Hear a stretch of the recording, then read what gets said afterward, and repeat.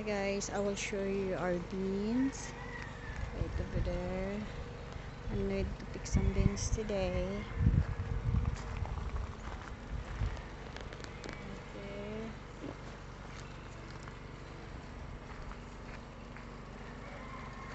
And we have some carrots over here too. And I get tomato.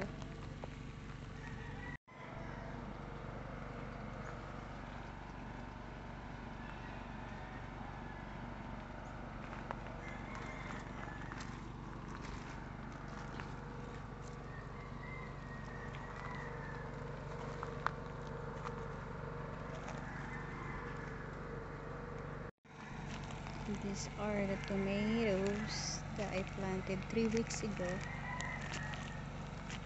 And then I got some little pepper going over here too. Still small. But I got some progress. I'm happy with that. Okay, that's all for today guys.